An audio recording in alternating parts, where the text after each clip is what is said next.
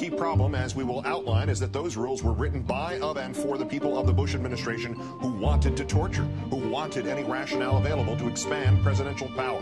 Six of those officials now under investigation in Spain. De que el señor Revilla había sido introducido por varias personas en un automóvil a punta de pistola. Hasta el momento de emitir este comunicado, no se ha recibido ninguna... His name is Edward Snowden. He's an American former CIA employee and computer technician. Today he came out as the leaker of classified NSA documents that spell out a secret surveillance program.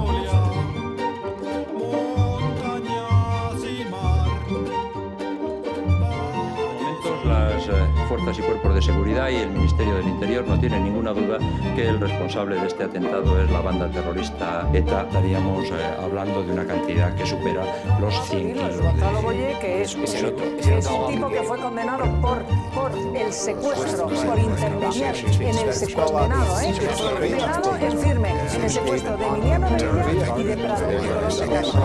Y fue condenado en el de la.